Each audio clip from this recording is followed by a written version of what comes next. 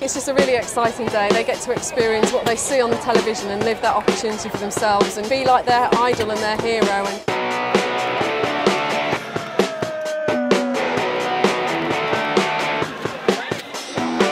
great experience, somewhere the best football players have ever stayed.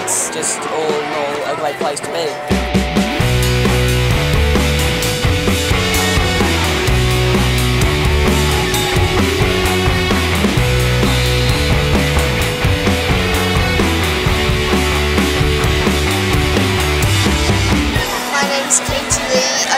Firside Junior School I play mixed team.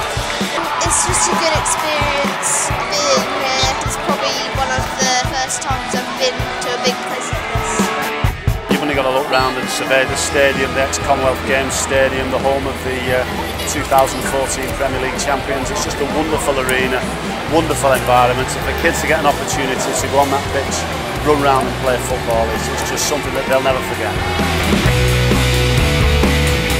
Have that involvement in sport, I think it teaches them so many lessons today. It's all about sportsman behaviour, fair play.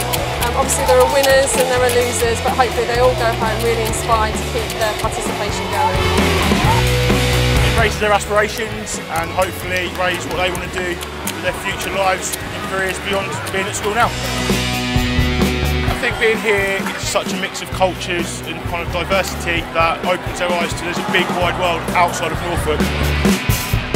Socially, it's about independence, learning to do a few things for themselves, get themselves ready and prepared without the aid of their parents looking after them. It's really fun because I get to be with my friends.